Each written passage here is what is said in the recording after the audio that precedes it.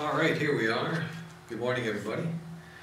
Um, I've been asked, well, I've been asked, but uh, some pressure from some, but not really. It feels like uh, pressure. It's kind of unnerving uh, standing in front of a camera, but we're going to do a study on the book of Revelation, uh, a book that uh, seems so many people are interested in and want to get into that and look through it and know what's going on. We have a um, quite a, an interest in the things of the future and that, but the book of Revelation is not all about the future. It's uh, some uh, past, some present, and mostly future. My name is Pastor Paul, and uh, this may be a long series of videos, or it may not, I'm not sure. We're not going to get in too deep, but uh, there's a lot to cover. Last time we did this in church, we've gone through Revelation a couple times. and sometimes takes up to a year to get through it, but I don't think we're going to take that long. But um, we're going to compare Scripture with Scripture. And what that means is uh, we're not going to listen to uh, ourselves or our opinions on what the things mean, okay? We're going to uh, uh, look into the Scriptures and uh, let the Scripture speaks for it, speak for itself. I think that's fair, don't you? And that's the safe way to do it. That's the best way to do that. Uh, many people are wondering what's going on in our climate today and what's taking place. Is this the end or whatever? Well, let's have a look at the book of Revelation, see what it says, and we're going to go bit by bit. We're going to break it down and show you some of the uh, main components of it, and once we get an idea of the um, each set of things that's taking place and such, uh, it'll begin to uh, come together and you'll see it very clearly. First of all, we have to do an introduction before we even get into the first chapter, which is a kind of an introductory piece itself. But um, um, make sure you take some notes because uh, we might be going fairly quick over some things. And you want to uh, take notes for the purpose of writing things down. And uh, so you can check it out later. You can go back in the Bible. Now, that, that's a good thing, too, because uh, the Bible says that the Bereans were more noble than those in Thessalonica. They searched the scriptures daily to see if these things were so. Okay, don't just take what a book says, what some man says, or whatever. Uh, get into the scripture because we're looking at the Word of God, right? Uh, we want to make sure that is um, the thing here before us, that we uh, honor the Lord and uh, the Father and Jesus Christ and the Holy Spirit. Going to honor them by taking heed to the um, uh, the Word of God. Now, you must have it 100% sure in your mind that uh, um, the Bible is the Word of God, okay? You've got to be convinced of that, all right? Um, excuse me. We want to look back and consider something first of all when we get going in this. We want to look at um, some Old Testament prophecies. Now, um, and for time's sake, I'll, I'll, maybe just mention some of these things, and you can check it out yourself later. Um, I won't get into it too deeply, but in the um, um, in the Psalms, we have some interesting things taking place here. Now, some of the Psalms where uh, David didn't write all the Psalms, but uh, quite a few of them. Uh, this uh, Psalm 22 is a Psalm of David. Now, I just want you to listen to a couple of the things that are going on here. It says, uh, My God, my God, why hast thou forsaken me? Why art thou so far from helping me and from the words of my roaring? Where have you heard that before? Okay, that was some of the things that the Lord Jesus said when he was on the cross of Calvary. Okay, my God, my God, why hast thou forsaken me? Now, I want you to note this, that this is the Psalms, David writing or penning this roughly a thousand years before Jesus would go to the cross. Now, how could that be? How could that be that somebody could pen those very words that Jesus would say on the cross or know that that was going to be said? We say, well, Jesus just read that and repeated it. Oh, is that right? Well, let's go a little further. He says, But I am a worm and no man, a reproach of men, and despised of the people. All that see me laugh me to scorn. They shoot out the lip, they shake the head, saying, He trusted on the Lord that he would deliver him. Let him deliver him, seeing he delighted in him and it goes on and on. Uh, uh, Be not far from me, for trouble is near, for there is none to help. Many bulls have compassed me, strong bulls of Bashan have beset me around. They gaped upon me with their mouths as a ravening and roaring lion. I am poured out like water, and all my bones are out of joint. My heart is like wax, it is melted in the midst of my bowels. My strength is dried up like a potsherd, and my tongue cleaves to my jaws, and thou hast brought me into the dust of death. Uh, I may tell all my bones, they look and stare upon me. They part my garments among them and cast lots upon my vesture. Okay? The soldiers did that at the cross of Calvary, didn't they? Now, uh, the soldiers didn't read that and say, let's go and do that because that's what it says way back there. No, no, no, no. This is a prophecy. A thousand years before those things took place. Now, this is very important for us to see this. And it goes on to, um, to say some other things. This is Psalm 22. Um, another great portion of Scripture we could look at would be um, Isaiah 53. Now in Isaiah 53, you're looking at approximately 700, 720, 750 years before the Lord Jesus uh, went to the cross of Calvary. But some of the things, and you probably know Isaiah 53, You've probably know some of those things off by heart. Um, Surely he hath borne our griefs and carried our sorrows, yet we did esteem him stricken, smitten of God, and afflicted. But he was wounded for our transgressions he was bruised for our iniquities. The chastisement of our peace was upon him, and with his stripes are we healed. All we like sheep have gone astray, and have turned every one to his own way, and the Lord hath laid on him the iniquity of us all. He was oppressed and he was afflicted, yet he opened not his mouth. He is brought as a lamb to the slaughter, and as a sheep before her shearers is dumb, so he opened not his mouth. And he made his grave with the wicked and with the rich in his death, because he had done no violence, uh, neither was any deceit in his mouth. Therefore will I divide him a portion with the great, and he shall divide the spoil with the strong, because he hath poured out his soul unto death, and he was numbered with the transgressors, and he bare the sin of many, and made intercession for the transgressors. Another portion talks about him, his uh, hands and his feet being pierced. And, and on it goes.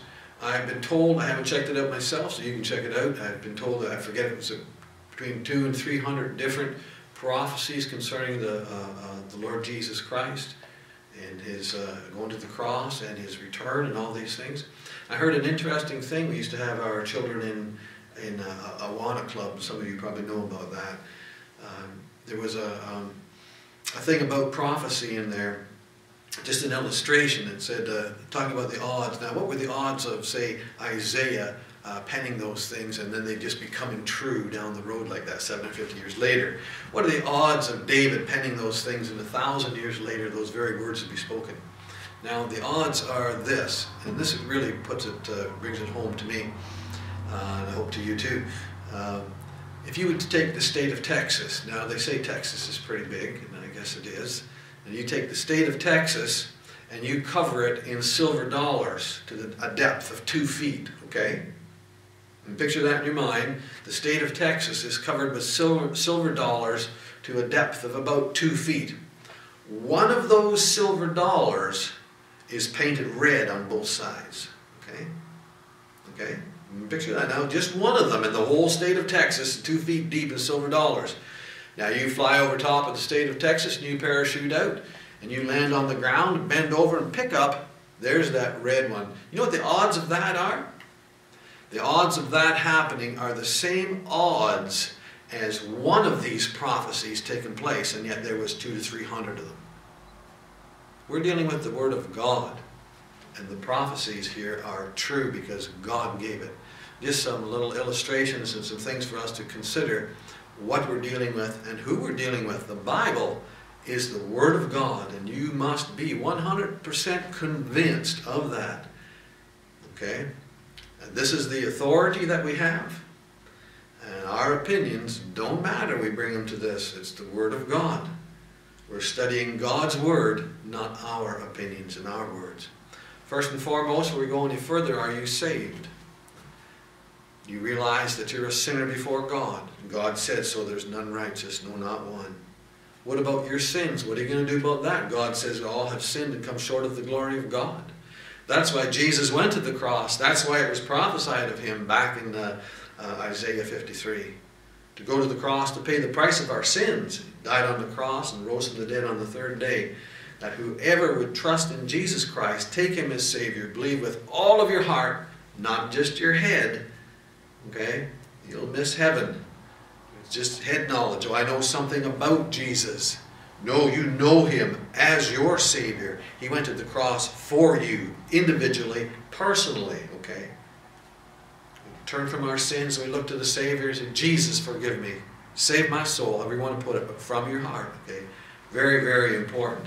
Now, when we get looking at some of these things in the book of Revelation, um, there's basically, I guess there may be more ways to look at it, but uh, we're going to just uh, consider um, some of the ways that people look at the book of Revelation here, just in case you run across that a little uh, further down the road and it, it, might be confusing. Before we get going into the actual uh, book itself, there are basically four major views to uh, how to look at or what the book of Revelation is about. Um, there's a uh, what they call the preterist. I don't know if I pronounced that properly or not, but whatever. Um, means that uh, some people believe that all the things in Revelation have already been fulfilled.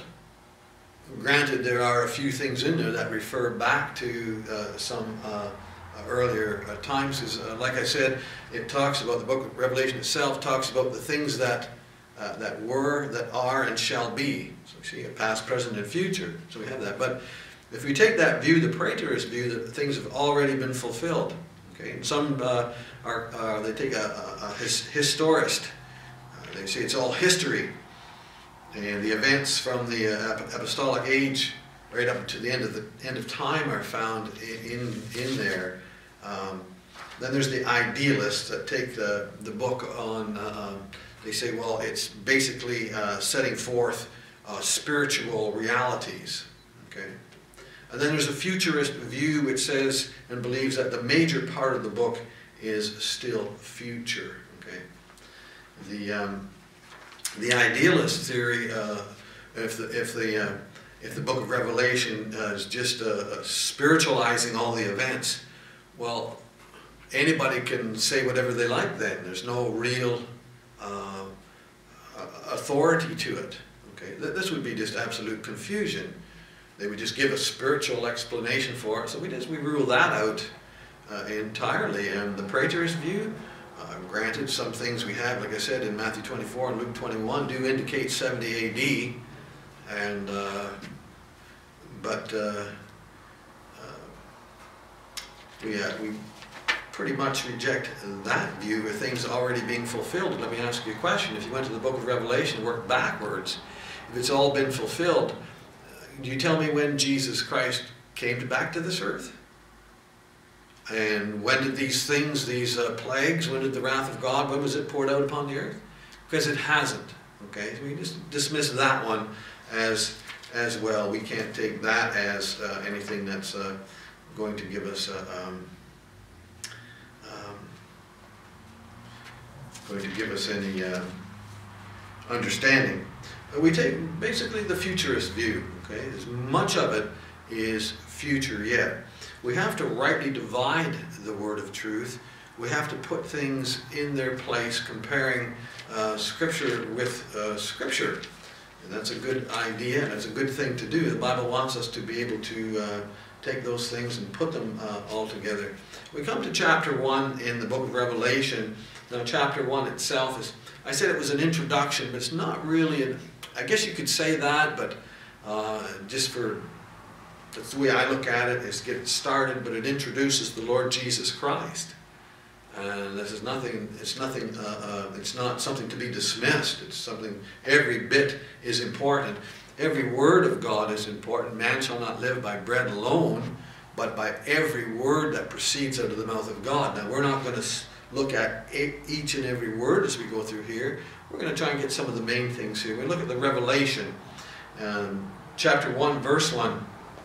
Now, I don't have my notes in front of me for this. I'm getting way ahead of myself, but we'll just start and get a few things on the go here. This is our introduction, anyways. Uh, the revelation of Jesus Christ.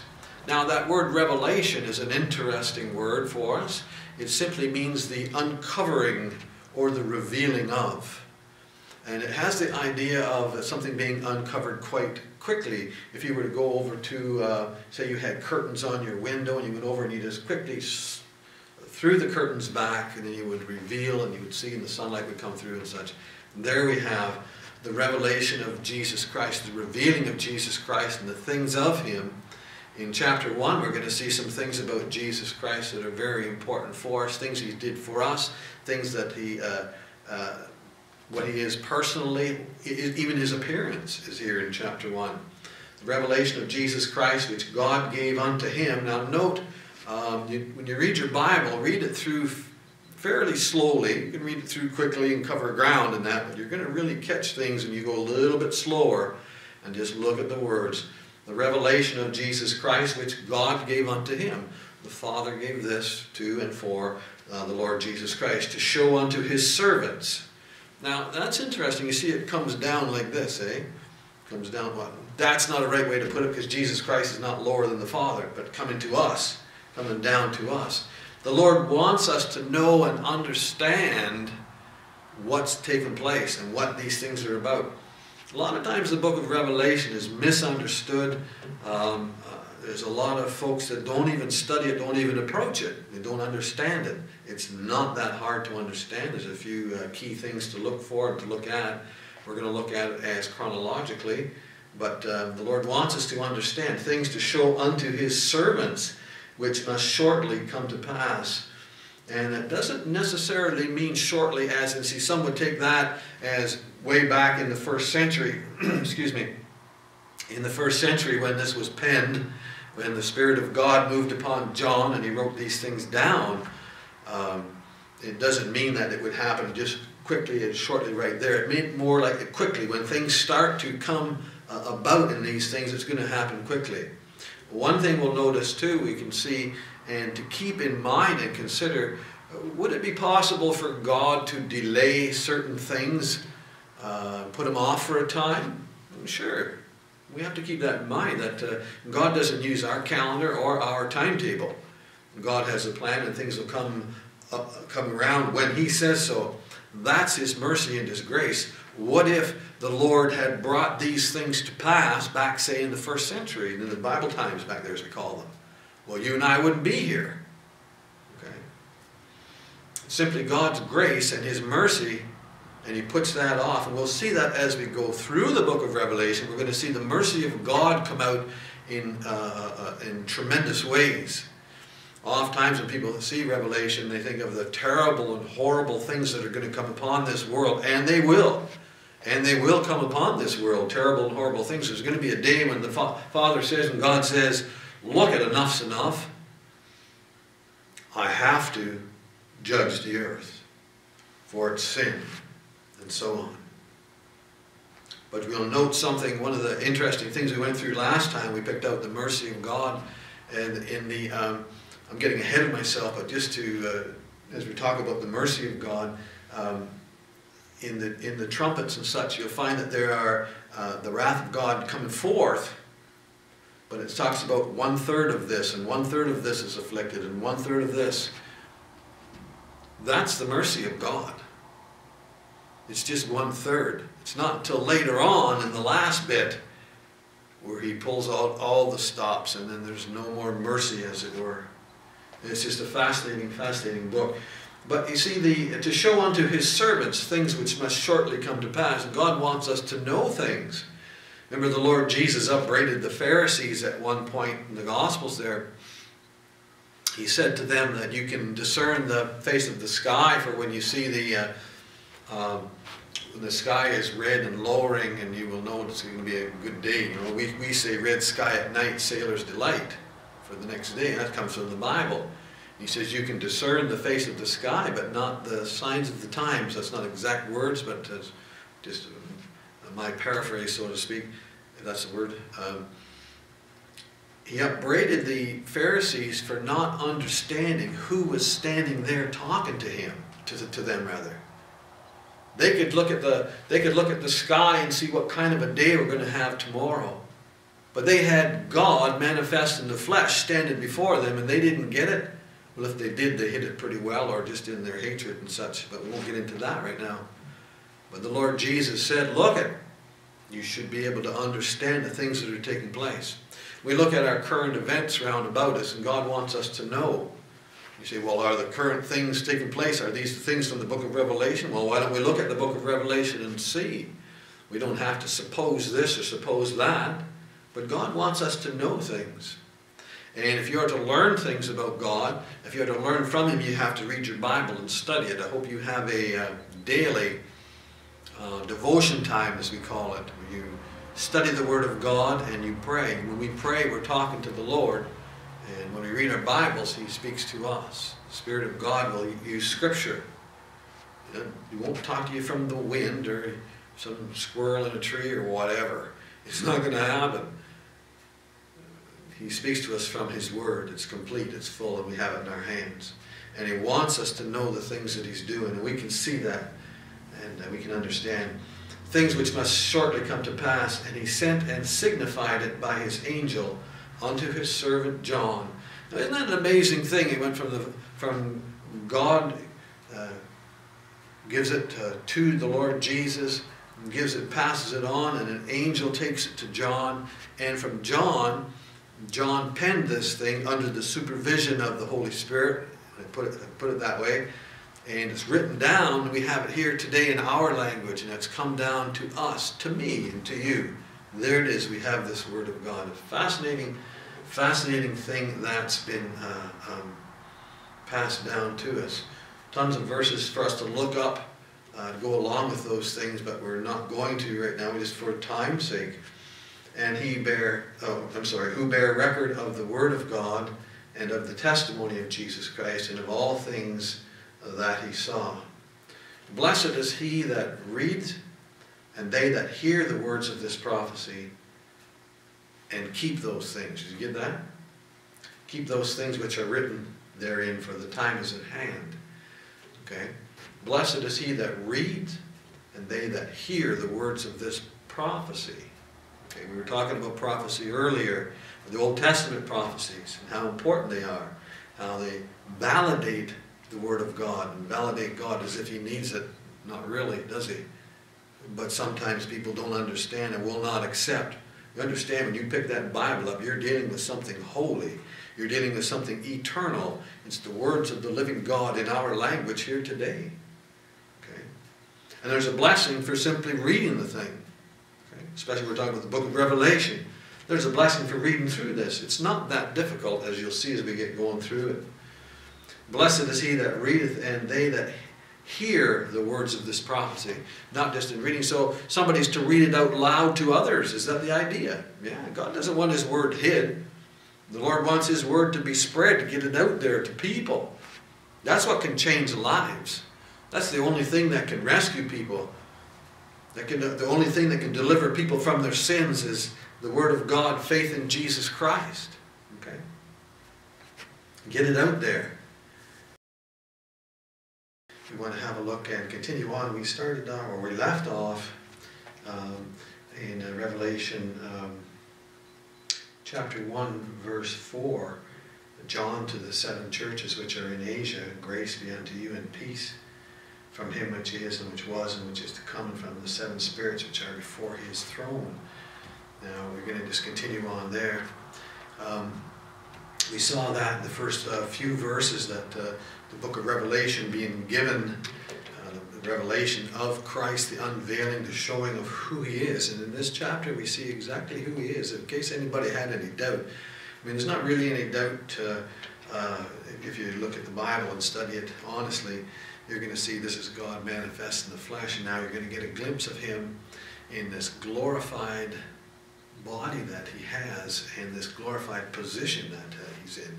This, uh, as the Lord Jesus would be seen in heaven, I suppose. Um, there's a blessing here for those that uh, read uh, this prophecy. We looked at prophecy earlier uh, to see how important prophecy is to uh, show us and help us understand when God says something, that's it, because it's God's Word, and the Bible is God's Word. But those that read, those that hear, and those that keep these things, there's blessings for that. Now, this is the seven churches in uh, uh, Asia he's going to be writing to, first of all, after chapter 1. This is the uh, uh uh, introduction into that, but uh, I, I, use that word. It's probably not the best word to to use. It may not be a, the proper word introduction that kind of makes it think that it's not as important the other, but just the first section of it, because we are in, it'll be in sections. Uh, chapter one's a section, chapters two and three is a separate section, chapter four and five is its own section, and so on and so forth. But here we are, um, John to the seven churches in Asia. Now, as I mentioned earlier, that's Asia Minor. That would be, and today if you look on a map, I believe uh, Turkey is in that area, be the west side over there, um, just above the very eastern side of the Mediterranean, the west side of Turkey, of course. Um, why Asia? Why these seven churches? Sometimes people say, well, why, um, why did the Lord pick these ones out? And we can't really say for sure, although there's a verse here for us to look at. And I'll just give you the, uh, the address here, and we'll just touch on it a bit in 2 Timothy chapter 1 verse 15. Now you know the apostle Paul was this is his second arrest in 2 Timothy. He wrote this when he was in Mamertine dungeon.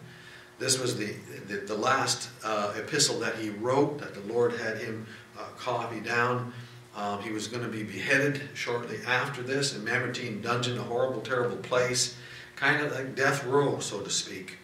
There's an interesting uh, verse here that'll give us some light as to why the seven, these, I think why, why the seven uh, churches are, are, picked out here. Anyways, let's have a look. As we see this, um, the Apostle Paul, um, verse 2 Timothy chapter 1, verse 15, he says, This thou knowest, that all they which are in Asia be turned away from me. Now that's not, not you know, China and such like that. As I said, this is, this is the, uh, um, the east area of what we would call Turkey today, in that area there. There was churches up in there that were started.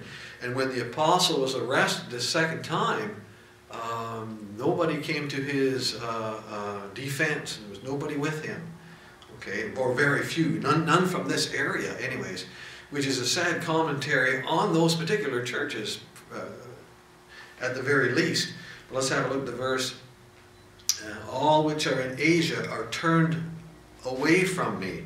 They turned away from him and left him. I just wonder, perhaps, now this is just my thinking, perhaps um, this is something where the Lord says, well, I'm going to address that situation, and here he is going to be addressing it here, and using those seven churches as examples for us to look at, and we can examine ourselves in our own churches and such and see where we're at and see if these things fit for us and so on. And uh, so let's have a look a little further here. So we see that the seven churches in Asia and from the seven spirits which are before his throne. Now, here's another one. You're going to find a lot of uh, uh, symbolism in the book of Revelation, and you're going to find a lot of things where sometimes we have to say, I don't know. Okay, and that's probably the safest thing to say rather than just saying, well, it makes something up. Um, but if we find some Bible verses that will go along with this, well, they might give us some uh, uh, idea of what's taking place here. And I'm going to give you a couple verses, and you can another study for you at another time, a little later on. Okay.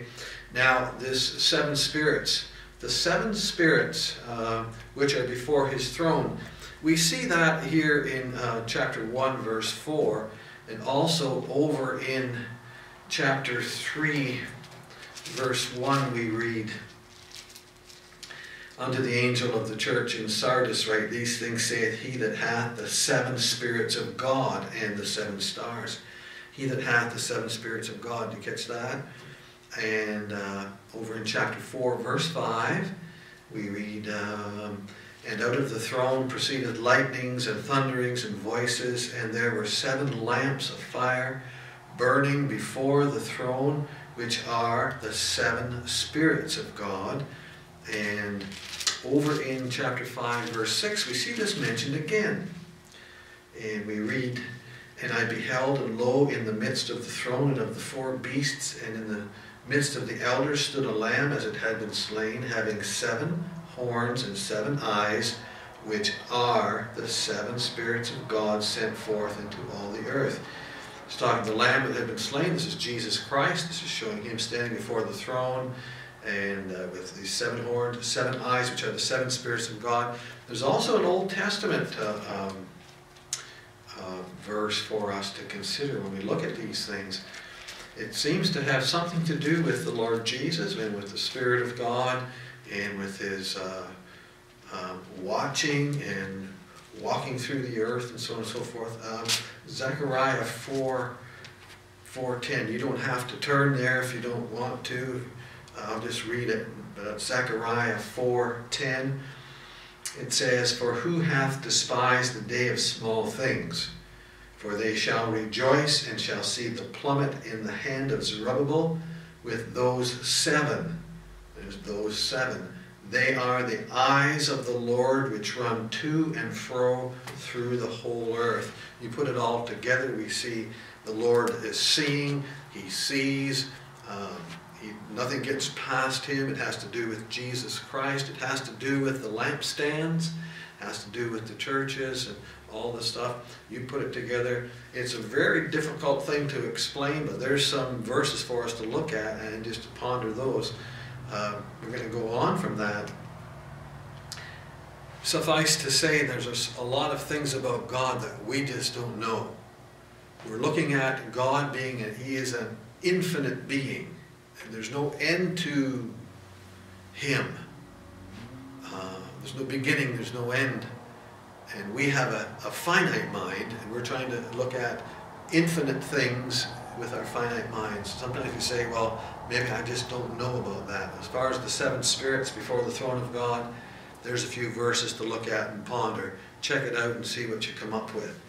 Um, verse 5 and from Jesus Christ. You notice there was three here. Uh, he that uh, um, sorry, I lost my place. And um, from him which is and which was and which is to come, there's one. And from the seven spirits before the throne, two. And from Jesus Christ, that's three. Where do you find those three in the Bible? The Father, Son, and Holy Spirit. So you see the seven. Um, uh, eyes before the throne of God may have to do with the uh, Holy Spirit, okay? And the things of, of, of himself and so on and so forth. So we put those together. And Jesus Christ, who is the faithful witness, okay? The faithful witness. Now, we know the Lord Jesus was certainly faithful to the task. We have him in the Garden of Gethsemane the night before the crucifixion in the Lord Jesus, it says, the Bible tells us he sweat as it were great drops of blood. Now, he didn't sweat drops of blood, it was as it was, like, as it were. Um, but it was a difficult time because he knew what was coming up and such. But um, the Bible says that he's the lamb slain from before the foundation of the world. I personally don't believe that Jesus was um, uh, sweating and concerned over the um, that's not the word concerned that he was saying. He says, Father, if it possible, take this cup from me. The Lord Jesus wasn't going to say that because he's the lamb that was slain before, from before the foundation of the world. Excuse me. There's something else that took place at the cross. Uh, yes, he was paying for our sins and he would be crucified and horrible, horrible things. But also, you see, the Father would basically turn away from him and leave him on the cross and the wrath of God be upon him. Um, I personally believe that it was the, the, thing, the Lord Jesus in Gethsemane, the thing that he was so um, uh, upset about, that's not the right word either, but you know what I mean, uh, was that he would have a fellowship with the Father broken for a time there, if you could say it that way. Some may disagree with that, but I can't help that. Um, but him being the Father turning away and, and all that. Uh, but then the Lord Jesus says, Nevertheless, uh, uh, thy will be done. So we see, but being the faithful witness, he didn't uh, turn away from what was before him. And aren't you glad for that? Sometimes the Lord has things for us to do, and we might make excuse, we might put it off, procrastinate. The Lord Jesus didn't do any of that. He had a thing to do. Why? Well, Hebrews tells us for the joy that was set before him, the joy, the joy of the cross the joy of what was taking place at that cross and Jesus Christ there. And he was faithful to the end in all of it and faithful to the whole charge that was given to him that he did and dying for the sins of the world. And the joy, I like to think of, he could see being God himself, God manifest in the flesh, he understood and knew and knows every person that will come to him through Jesus Christ and be saved. And that's a great and wonderful joy. If you're saved, if you're born again, if you've been washed in the blood of the Lamb, if you've taken Jesus Christ as your Savior, you are a great joy to God. In fact, when you got saved, it says the angels in heaven were rejoicing. What an amazing thing, isn't it? The first begotten from the dead, it says there. First begotten from the dead. See, well, there were others that were raised. Lazarus was raised. and there was a, some of the graves were opened uh, when Jesus died on the cross, and some of the saints came out of the, their graves and such. Yeah, but they came back with the same body. Jesus Christ is the first and only one that has ever yet uh, been resurrected with a different body now, a spiritual body, one that is not impeded by walls and such. As we can see, he just appeared to the disciples in the upper room. He's just there. He's just different. The glorified body, we call it. He's the uh, first fruits. He's the first one of the harvest. And when Jesus Christ comes back in the clouds, one of these days you're going to hear the, the, the, the trumpet will sound and the voice of the archangel, and Jesus will call all the believers up, and those which are dead and have died in Christ, their bodies will be changed and brought up, and, and, meet, and we which are alive and remain shall uh, go up and meet the Lord in the air and forever be with the Lord. Just a wonderful, amazing thing. But He's the first begotten as he is, so, so shall we be in that sense that our bodies will, have, uh, will be changed. The prince of the kings of the earth, he's called the prince of the kings of the earth. now, that's an interesting thing because we're looking, some people are looking towards, uh, we look at the end times and such. One of the things that's going to happen is there's going to be a guy who we call the Antichrist. He will be a ruler over the earth. There'll be a, a, one world government, kind of a communistic system, a one world government, and they'll have this one leader over top of it all. He will be the ruler over the earth at that time. But there's somebody who's far above all that. Jesus Christ is uh, the prince of the kings of the earth. Now, that word prince right there has the idea of ruler. He's the top one over all. He's the king of kings and lord of lords. And remember, the devil's a copycat. And the Antichrist, when he comes upon the scene, he's going to try and make people uh, think that he's the Messiah. Uh, but he's a false one, isn't he? Bringing in a false peace and all that. But we'll get to that later. We'll see a lot of that later on halfway through this. Excuse me. The prince of the kings of the earth. Now, it's an interesting few things here um, in verse 5. It says, uh, um, Unto him, that's to Jesus, that loved us. Now, there's three important things mentioned here, and three wonderful things for us. It says, Unto him that loved us and washed us from our sins in his own blood, and he hath made us kings and priests unto God and his Father. To him be glory and dominion forever and ever. Verses 5 and 6 there. Note these three things. First of all, he loved us.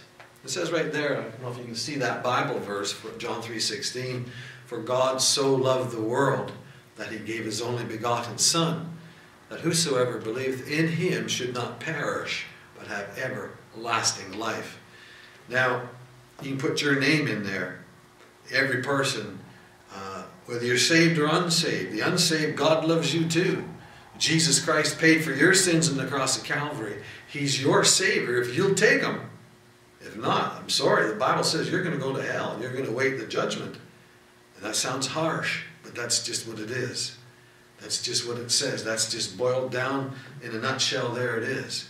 Jesus came to save us, to deliver us from our sins, to deliver us from hell, to bring us to heaven, to bring us into eternal joy and such with Him. But He loves us. he loved us enough to go to the cross, but He not only did it, it didn't stop there, He still loves, and today He continues, continues to love us, his people, and love those, and he wants to draw um, the unsaved to him, that they would turn to Christ and be saved.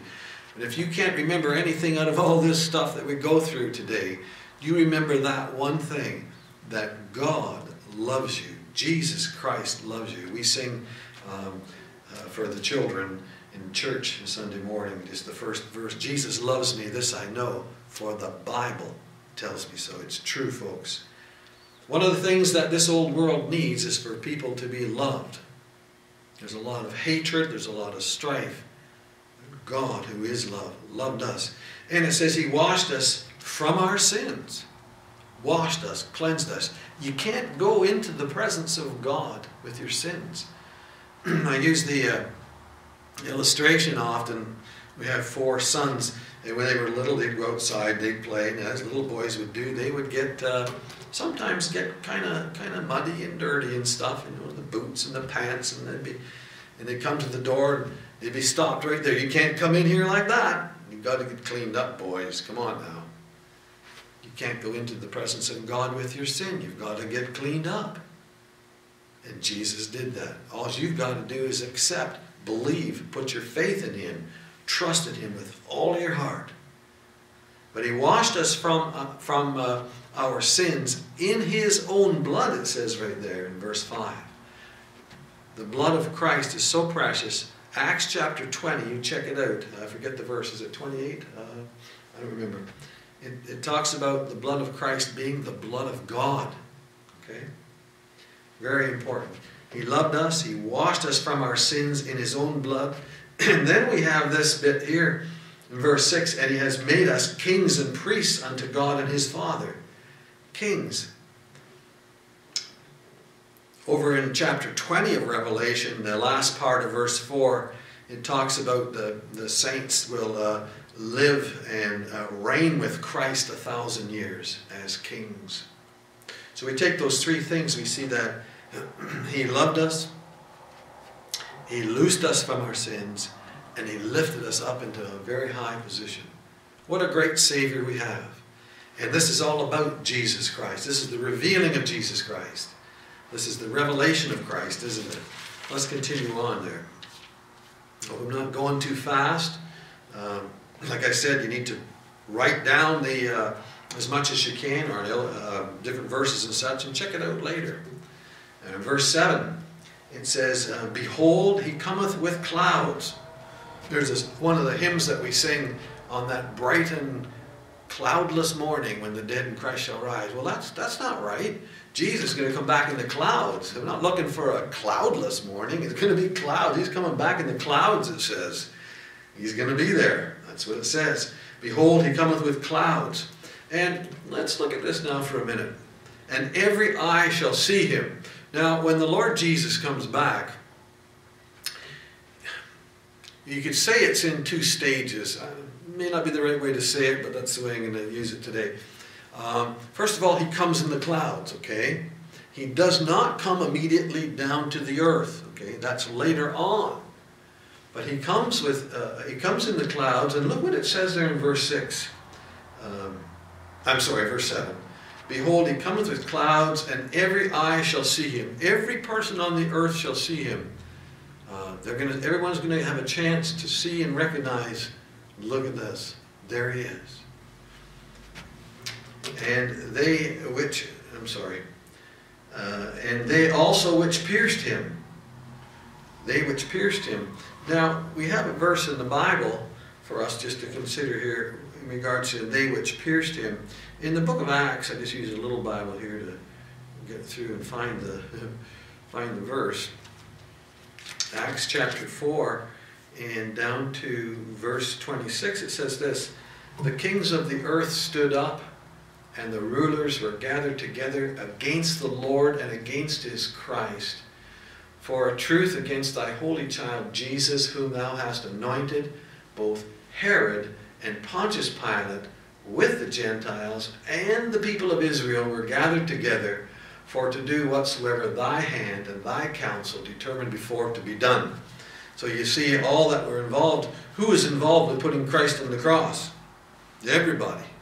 Everybody was involved, but particularly the Jewish people. They're mentioned in there as well, uh, of course. And they will see him too. But look what it says. And uh, they all, and they shall see him, and they also which pierced him, and all the kindreds of the earth. All this it means all the different tribes, all the different nations, all the different people of the earth will wail because of him. I think that some will wail because the, the place that they will find themselves in at that time, maybe recognizing that uh, who Jesus Christ is. The Bible does talk about that, that, uh, that many will uh, turn away in, in anger from him and they will kind of shake the fist at God. And they'll be very angry, be wailing in tears over him when he's there. But nonetheless, he's coming back. He's coming back. And uh, it says at the end of verse 7, even so, amen. And we read that amen. It simply means, may it be so, or let it be done, something like that. Okay. Now, verse 8. Now, some argue about the deity of Christ, and I don't know how they can do that if they seriously read the Bible, but you know and understand that the Bible is not understood except the Spirit of God would guide you. Okay? It's spiritually discerned. An unsaved person can't necessarily understand these things and put these things together. But they should understand and see as the Spirit of God would come upon them and show them that Christ is the Savior. But look what it says in verse 8 a description of the Lord Jesus. He says, I am Alpha and Omega, the beginning and the ending. The Alpha and the Omega are the first and last letters of the Greek alphabet. Our New Testament it was uh, penned in the basically in the Greek uh, uh, from that time. Verse 8, chapter 1, Revelation. I am Alpha and Omega, the beginning and the ending, saith the Lord, which is and which was and which is to come. Now look at the last two words, the Almighty. Okay? The Almighty. This is the Lord, the Almighty. This is Him. This is the description of the Lord Jesus Christ. You see, this is the revelation of Christ, the uncovering, the showing of who He is. Okay? It goes on to say in verse 9, I, John, who am your brother and companion in tribulation. John You'll notice that these fellows from the first, uh, what we call the Bible times, the first century, whether it was John or Paul or Peter, whoever it was, they didn't have these big titles in front of their names. They weren't the most holy reverend doctor, whatever. Just look at them, just a man, just a servant of Jesus Christ. And that's very important. And uh, a brother, a servant, and companion, he says.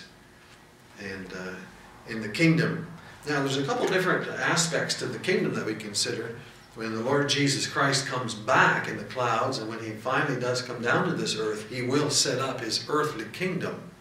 But right now, today, um, as he said earlier, uh, or in the Gospels, he said that the kingdom of God comes not with observation, and the kingdom is within you. That uh, in, let me get the verse here, in Colossians chapter 1, you can check that out sometime um, Colossians chapter 1, I think it's verse 13. It says, Who hath delivered us from the power of darkness, that means the authority of darkness, and hath translated or removed us from one place into another. But look what it says who hath delivered us from the power of darkness and hath translated us into the kingdom of his dear Son.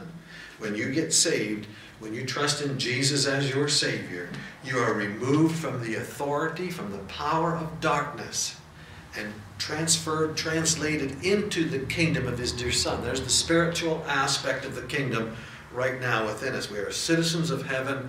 It's present, it's right now. But what a wonderful thing it is when an unsaved person is under the authority and the power of darkness.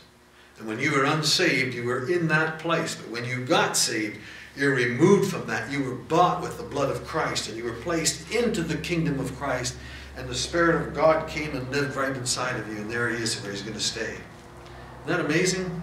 That is absolutely amazing. What a wonderful, tremendous blessing that is to us to know where we are and how we're looked after. The kingdom and patience of Jesus Christ. Now he goes on to say he was in the isle called Patmos for the Word of God and for the testimony of Christ. Now, a lot of people say that John was on Patmos. He was there um, for, uh, that he had been preaching the gospel and such, and he was sent there in exile like, uh, like a prison sentence, like it was a prison colony kind of thing. Popular belief says that he was banished there for, for preaching but I have read, and just studying it out, I have read that there's no uh, no evidence of, of such a thing, no evidence of a penal colony. Rather, the opposite is true. There's no penal colony, there's no history of it. Um, that's only comes from, some say, from only uh, so-called uh, church traditions and such. If he was there for uh, banishment, uh, how could the other seven churches that he's writing to escape punishment and only John did? It doesn't add up. It just doesn't make sense. John would have been a, a, a, a very, very old age if uh, um, at that time they, they figure, but yet he's told later on that he's going to go and preach some more. Uh, the year wasn't 92 AD, it wasn't under uh, uh, Domitian. The, the year was later in the very latter part of the 60s, and we'll look at that when we get down to chapter 17. I believe it gives us the, uh, some clues as to the date of the writing of this.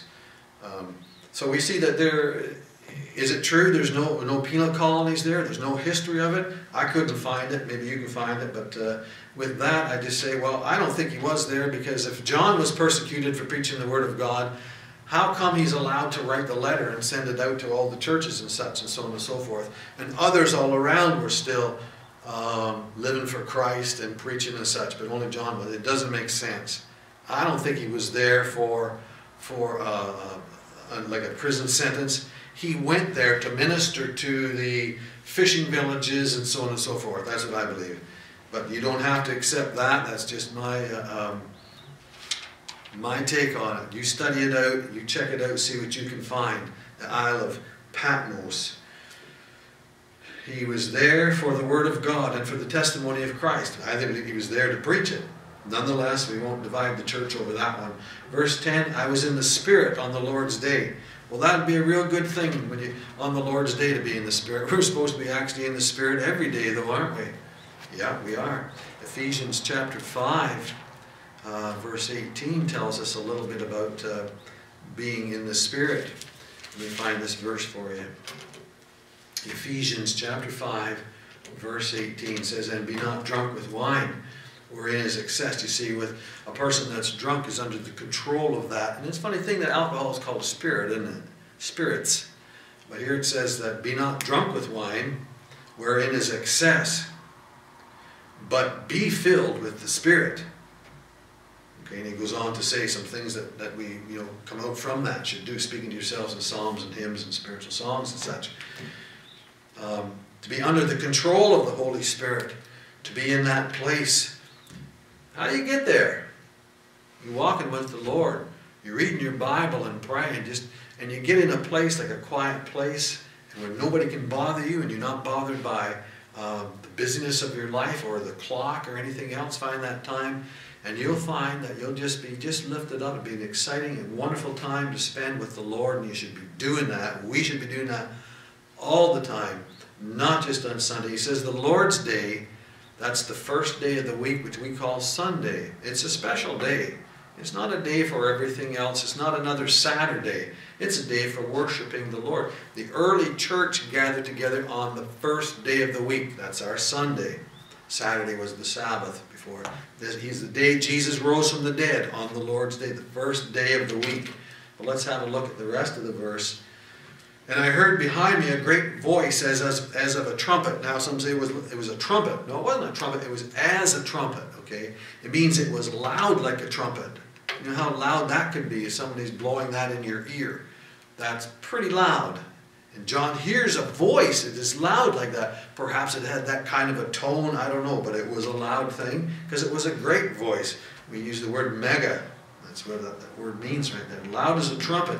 And this voice says, saying, I am Alpha and Omega. Now he just said that back in verse 8, didn't he? Saying, I am Alpha and Omega, the first and the last. He's the beginning of all things. He's the last word of all things. This is God Almighty, isn't it? This is the Lord. This is God. This great voice. And he gives instructions to John. Okay?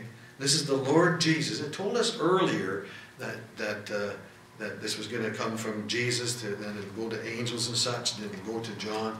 But here he is, here's the, the Alpha and the Omega, giving this instruction. And he's telling John, uh, what thou seest, write in a book, and send it to the seven churches which are in Asia. Okay? Now let's just stop and think about that just for a moment. He gives John this instruction write down these things that you see, John. We see something about our Lord, something about God here, something about Jesus. We see something about him. Now, John was going to be shown uh, visions, or was it a glimpse into the future, or whatever it was? And the Bible talks about visions and such and that. But the things which he's going to see, he's going to write down the explanation. Now, I don't know about you, but uh, unless John was a very fast writer, um, how, how, would you write down all these things? I think the Lord, he, our God is so patient and so loving and kind and understanding. And John's writing these things down, putting it down, putting it down. And everything has to wait until John's ready, until he's caught up. That's our God. He's just so patient and just so understanding. That's our Lord. You got something that you need to have straightened out, take it to Him. He is so understanding and patient. The Bible says in uh, Psalm 68, pour out your hearts unto Him. Okay? But here we see John's instruction write down this whole book of Revelation. You write it down. Write it down, John and send it to the seven churches of Asia. Okay. Now we're going to look at those. That's the next section coming up, beginning in chapter two. But what we have here is John. Uh, John wants to turn now and see the voice that spoke spoke with him. Um, verse 12, verse 11, it, it said, named the seven churches. We'll get to those later. The seven churches there. And I turned to see the voice that spake with me, and being turned, I saw seven golden candlesticks. Now, these were more than likely the candlesticks like uh, the ones you would have found in the tabernacle in the wilderness or the temple. They would be, uh, um, be on a stand, would come up, and it would have the arms would go out like this, and there would be seven of them, and there would be little uh, little reservoirs in top for the oil, olive oil, and then a wick coming out, and that's what the lamp would have been like at that time. That was the, the lamp described here. That's the biblical one, the one from the tabernacle and such. So there were seven of those things all around there. We don't know if it was a semicircle or whatever, but the, picture it in your mind. Use your sanctifying imagination. John turns and he sees seven of these golden candlesticks and in the midst, in the middle of them, in the middle of these candlesticks, one like unto the Son of Man. Well, who's that? Well, that's the Lord Jesus. You see, John was the apostle that was called uh, the, uh, the one whom the Lord Jesus loved. He's the one that, that's at the, at the supper table that he leaned upon Jesus' breast. They were very close, and he, he was the one that when Jesus was on the cross, Jesus says to John, Behold thy mother, speaking of his own mother, the Lord Jesus' mother, Mary. And John, you're to take her and look after her. And John, John knew what Jesus looked like. He knew who this was. There was no mistaking. There'd be no mistaking Jesus when we see him, but uh, John, there was no mistaking him at all. Now, the Son of Man, something, well, what does that mean? Know, sometimes they will, that refers to his humanity. Well, it's a little more than that. I'm going to give you another verse to look up and some study. It's kind of like you're in school getting all kinds of homework, eh? Yeah, but this is good homework. This is good for us. Did you know that when you get saved, you're, you're placed into God's classroom and it's lifelong. You never get out. You'll, you'll always learn and uh, it's just a wonderful blessing. I'm going to turn to, uh, you don't have to turn there just for time's sake, just let me read it, but you can like Daniel chapter 7, verses 13 and 14. Now, Daniel has a vision of uh, God's kingdom and some things. Okay, all kinds of visions he had and was given to him. But this particular one, Daniel says in chapter 7, verse 13, I saw in the night visions, and behold, one like the Son of Man. He came with the clouds of heaven and came to the Ancient of Days, and they brought him near before him. And there was given him dominion and glory and a kingdom that all people, nations, and languages should serve him. His dominion is an everlasting dominion which shall not pass away, and his kingdom that which shall not be destroyed. Who's that? That's the Messiah. That's the Christ. That's Jesus Christ. That's the Lord Himself.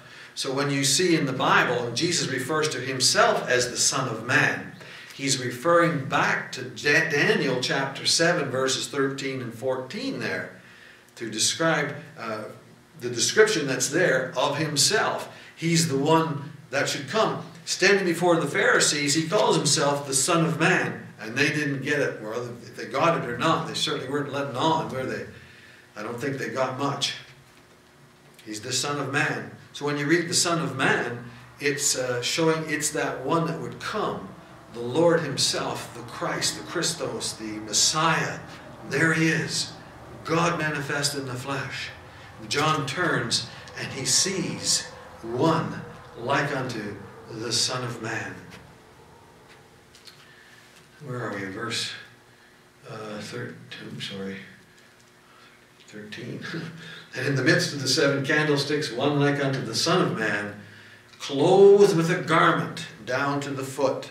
Okay, right down, completely covered up, clothed with a garment down to the foot, and and gird about the paps with a golden girdle, this big band or this big belt across his chest. Okay, a golden kind of a belt or a sash or whatever, uh, across his chest. His head and his hairs were white like wool, as white as snow. Reminds me of that verse that talks about the Ancient of Days. We just read that in Daniel 7. As white as snow, and his eyes were as a flame of fire.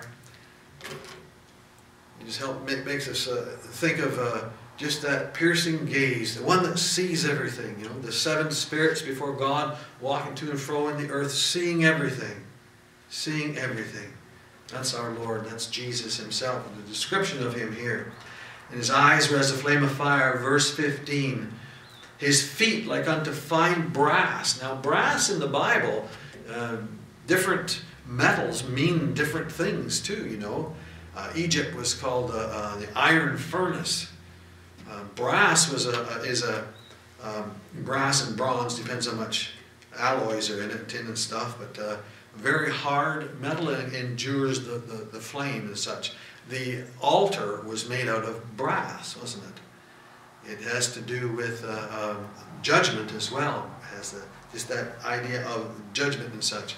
And the Lord Jesus, He walks in judgment, His feet in judgment, as it were, if we could put it that way. His feet like unto fine brass, as if they burned in a furnace, and his voice as the sound of many waters. If you've stood near a, uh, a waterfall, for instance, I don't know if many of you have been to Niagara Falls, and you get close to that, and it's quite a roar comes from that. And it's quite a quite a sound, quite a thing. It has a uh, an awesomeness to it something that just a, a, reverent thing is just the power of the water. And here we have the same idea with the voice of God, the voice of Christ, as the sound of many waters. Just that that power and such. And there is. And he had in his right hand seven stars. Okay, he had seven stars in his right hand, and out of his mouth went a, a sharp two-edged sword now, did he actually have, or will he actually have a, a, a mouth hanging out of, a sword hanging out of his mouth? You have to remember symbolism, okay? Um, the Bible is called the Word of God. It's called the sword of the Spirit, isn't it? Okay? The sword of the Spirit. And that sword will pierce even to the dividing of soul and spirit, and of the joints and of the marrow, and of the intents of the heart and such. In Hebrews it tells us that. So it's not actually that. So we, when you see these things, you don't take them literal. Some people say, well, this has got to be literal. No, it doesn't. That's impossible. That's just silly. That's not what's being said here. He's, the Word of God comes forth from His mouth, and it is so powerful. The Bible tells us that the worlds were framed by the Word of God. The Word that God spoke, and there we have the stars and everything. Some people don't believe that. Sorry, I can't help you with that. That's what the Bible says. Genesis chapter 1, verse 1 In the beginning, God created the heavens and the earth. He doesn't explain himself, he just states it. It's faith that accepts it. And by faith, it has to be and must be accepted. Okay? That's what it is. There's no other explanation for it. Nothing else makes sense, anyways. So we see his right hand, seven stars. He goes on to explain that later. And out of his mouth went a sharp, two edged sword, and his countenance, the look of his face and such, was as the sun shines in his strength. So it's just beaming bright, just beaming bright. Isn't that an amazing thing? Is The description now, the Lord often will gives gives us things in uh, uh, the way we can understand. He says, Jesus says, "I am the door." Is he really like a door that swings on hinges? No, of course not. But it's to help us to understand the thing a little better. A door is the entrance way or exit from somewhere, isn't it? He's the door into heaven, so he's the entrance to heaven, isn't he? We see that. We see these wonderful things about him, about the Lord Jesus. We see the, the, the, the Word of God that's powerful, the, the shining uh, uh, countenance Verse 17, and when I saw him, John says, I fell at his feet as dead. He just folded up and he's down on the ground. I heard a lady say one time, she said, when, you know, she gets to see the Lord, she's just going to punch him in the nose. I know you're not, ma'am. you're going to probably just fall down and crumple. Yeah. The Bible tells us in uh, Philippians chapter 2, verse 10, that every knee shall bow unto Jesus Christ every knee. All things that are in heaven, upon the earth, and under the earth. Well, what do you suppose is under the earth? That's a whole other study, but check it out. The Bible tells us, in even I think it's Psalm 55, that hell is beneath. That's where the spirits of the unsaved are kept. But everybody's going to be brought up and everybody will bow. Best to bow now while you can, uh, as Jesus as your Savior. You don't want to be there when He's your judge because you're going to pay for your sins yourself. But uh, not meaning to be overly harsh or anything, but that's the reality of it, folks. You don't get to heaven by being a good person and doing good works and such. It's not by your baptism. It's not by going to church. It's by accepting Christ as Savior. The Father says, I sent my Son to the cross to pay for your sins. He died on the cross, shed his blood, was buried in the tomb, rose from the dead on the third day. It's done. It's wrapped up with a bow on it, and it's yours if you want it. Please, he says. God is not willing that any should perish, but you must. You must believe. You must accept Christ. You must receive him as your Savior. Acknowledge your sins before God and take Christ as your Savior. When I saw him, I fell at his feet as dead. And this is a wonderful thing. Look at this, what comes next here. And he laid his right hand upon me. Uh, just a minute now. You're having troubles? You're having difficulties with life and problems and such, and God seems so far away. He is not. The Apostle Paul was in Mamertine dungeon. He says, At my first answer, no man stood with me. Nevertheless, the Lord stood by me. Those words mean that he stood, means to be at my elbow. He's right there, right there.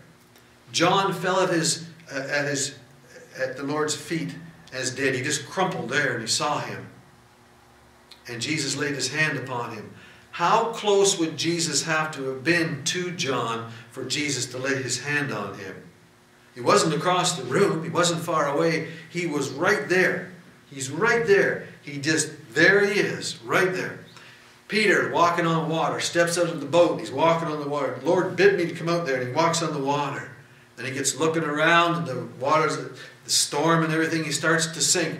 Lord, save me. He calls out to the Lord. The Bible says that Jesus put stretched forth his hand, he laid his hand upon him. How close was Jesus to, to Peter? He's right there in the time of trouble.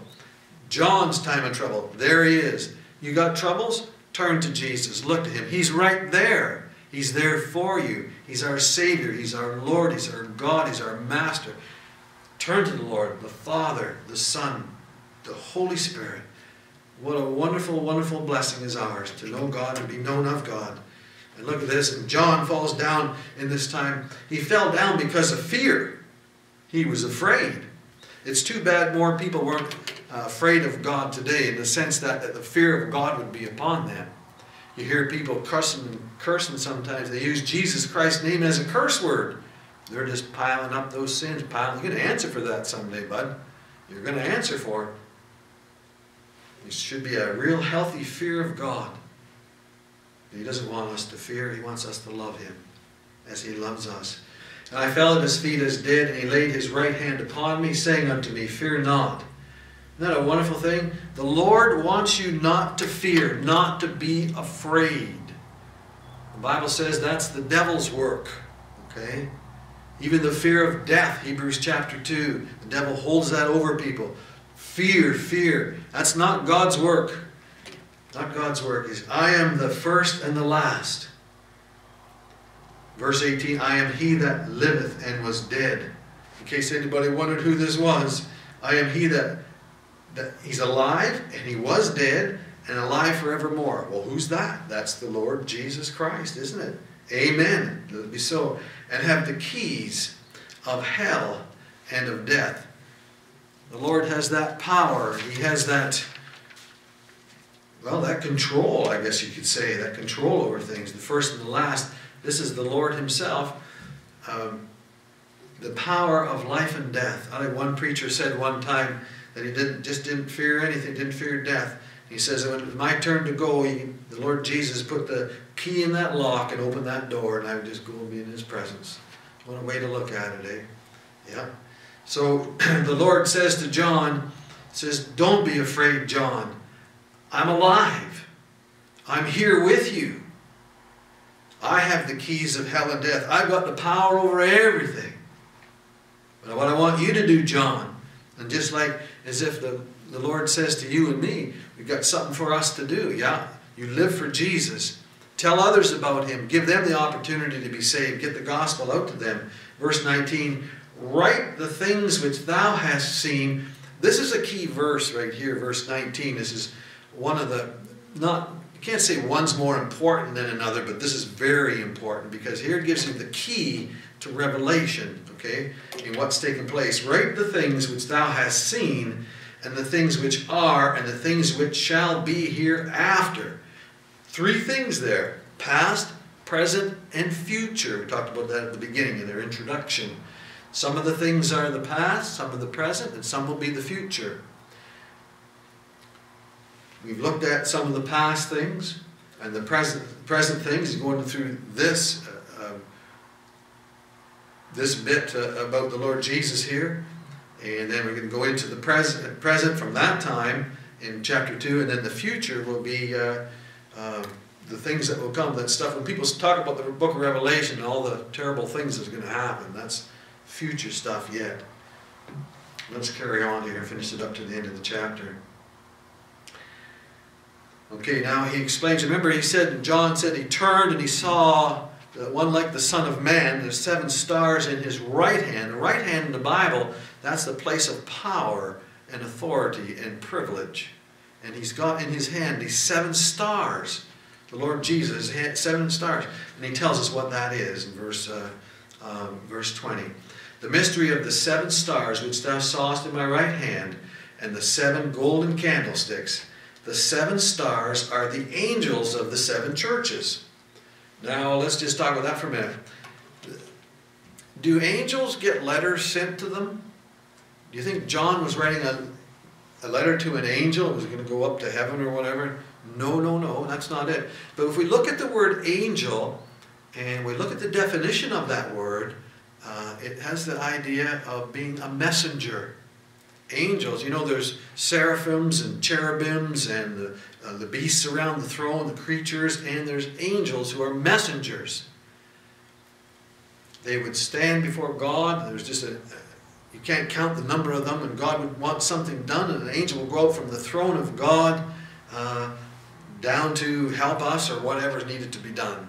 Okay. Psalm, uh, I think it's 20, 22, in and around there, talks about send thee help from the throne, throne room or something like that.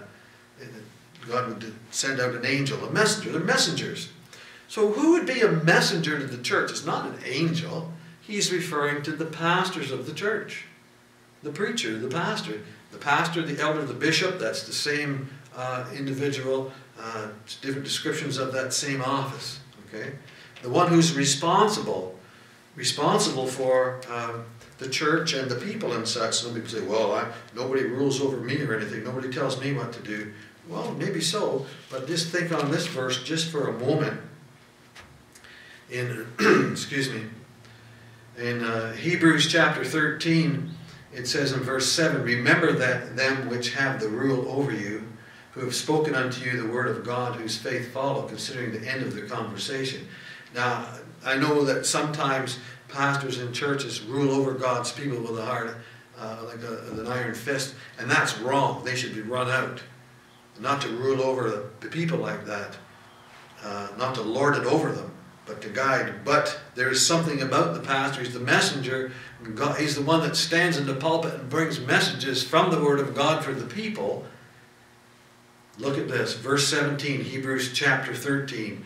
Obey them that have the rule over you, and submit yourselves, for they watch for your souls, as they that must give account, that they may do it with joy and not with grief, for that is unprofitable for you. Some people don't like to hear those words, but that's just too bad. As we said at the beginning, this is the Word of God we're talking about. This is not the, uh, uh, this Bible isn't about man's opinions, mine or yours or anybody else's. This is about what God says, okay? He says that. So we see that the, uh, um, the messengers of the churches. Now, when we get down to the seven churches, beginning in chapter 2, it says, Unto the angel of the church of, say, Ephesus the Lord is speaking to the pastor, he's directly responsible for the good and the bad that happens there. And going to be going to have to answer for it. And then the application goes out to every one of us, every person in the church, okay? And when you look at these church things here, it's not just about the pastor. It's not, but he's the one that's going to take that thing back. Then he would take that thing and that letter and take it to the church, and, and they would look at that and discuss that and see the things that were wrong and the things that were right and such the seven stars, the angels of the church, and held in his hand. Now, being a pastor, I've been a pastor for 25 years now, I think it is. Something like that. And there's a lot of good times. There's some bad times. Treat the man with respect. And he should surely be treating you with respect. And be at peace among yourselves. Hebrews 13 again. Okay? But anyways, that's who it is. That's what he's talking about there. What a privileged position. What a wonderful position. But you know, whatever happens for good in the church, like we have uh, uh, some missionaries we support. We're not a very big church. We, we support a number of missionaries all around the world. What a privilege it is. And every person here has the, uh, the privilege of, of supporting those ministries. So they have a hand in those ministries. Church isn't about the pastor. It's not about the programs that we have. It's about worshiping Jesus Christ. It's about being there in the assembly. In fact, the word church means assembly. It doesn't mean building. It's not about the building at all. You can meet in a barn. It doesn't matter. It's the assembly of God's people. Those who have been called out of the world, called out to praise and worship Jesus Christ. That's the church, the people right there. The seven stars are the angels of the seven churches, and the seven candlesticks which thou sawest are the seven churches. Now, the Bible tells us, again, another verse for us here, um, in, in, regards to the uh, church and congregating and gathering together. The Lord left us uh, some uh, words here in uh, Hebrews uh, chapter 10, verse 25. It says, Not forsaking the assembling of ourselves together as the manner of some is, but exhorting one another, and so much the more as you see the day approaching. Now, we've been told here with this virus thing going around that we're not allowed to gather together in big groups and all this stuff. And God says, don't you forsake the assembling yourselves together. Boy, oh boy, what are we supposed to do? He says, and so much the more as you see the day approaching. What day is that? The day of Christ coming. Okay. He says, You need to get yourselves, and we say, I'm going to church. We know what we mean when we say that. I'm going to church. Get yourselves into church. Be part of an assembly somewhere, one a church somewhere that teaches the Bible, and uses the Bible. And if they're not teaching from the Bible, don't bother with them. Get and find one and get yourself to be part of it. That's what he says. And don't forsake the assembling of ourselves together. I want to finish up this. Uh, this particular video with uh, um, just three things here. We see the Lord Jesus Christ walking in the midst of the seven candlesticks, and he says those seven candlesticks are the churches, these seven churches he's going to write to.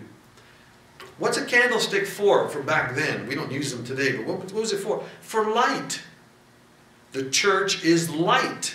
Your church, the one you support, the one you attend, the one you pray for, and all that is to be light. We are a light in the community, a light for Jesus, to show people the way, to tell them the way. But we see three, three things about the Lord Jesus Christ when we uh, consider these things. Um, the Bible tells us in Hebrews chapter 7, verse 25, that Jesus is sitting at the right hand of the Father, and he ever lives to make intercession for the, un, uh, for the saved. It's a wonderful and comforting thing to know that right now, Jesus Christ is praying for you if you're a Christian. Praying for me. I like that.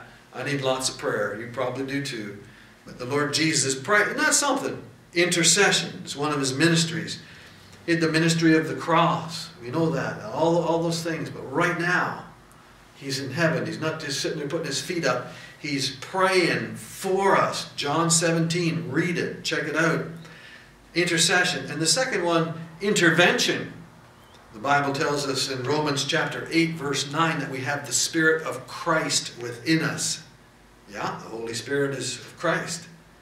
He's right within us. Intervention. He's there to intervene, to help us bring this old nature under control, keep us on the right path. But here we see him in Revelation doing something else. There's a third thing he's doing inspection walking among the churches. Now, Jesus Christ is the, the head of the church. He's what we're, why we gather together. I'm not the head of the church. You're not the head of the church. Nobody else is. It's Jesus Christ. It's His. And you know, when we gather together in the assembly, He's there. He says, where two or three are gathered together, there am I in the midst. And He's inspecting the churches. They don't get away with anything. You're going to reap what you sow. But He inspects. He's investigating. So these three things, intercession, intervention, and inspection of the church as well. The intercession, we can say, he brings comfort for us. It's a comforting thing to know that he prays for us. And intervention, the Spirit of Christ, there's a cleansing there. That's that sanctification, that daily sanctification, doing the right things and leading us and such. But this inspection one is correction. And people don't think of that too often. They don't think of the correction aspect of the ministries of Christ. And he corrects the church. Next time, Lord willing, we'll have a look at, uh, beginning with chapter 2 and chapter 3, looking at the actual letters to those churches and see some things that might fit ourselves and our churches and so on and so forth, what was going on back then, and, uh, and so on and so forth. Thank you very much for your time. You've got a lot of verses to look up and such we'll have a go at it, uh, and uh, shortly we'll jump back into this. But right now, let's have a word of prayer. Father, we thank you for your grace upon us. We pray, Lord, that these studies would help. We know, Lord, we're just going through like a freight train, but Lord, there's still a lot of good things here. Help us, Lord, to be studying your word, to looking up things and comparing scripture with scripture. Lord, we just ask that you just bless everyone that reads and hears and keeps these things that are written therein for the time is at hand. Thank you for your grace. In Jesus' name we pray. Amen. Thank you for your attention. Thanks for having a look. Lord bless you. Bye now.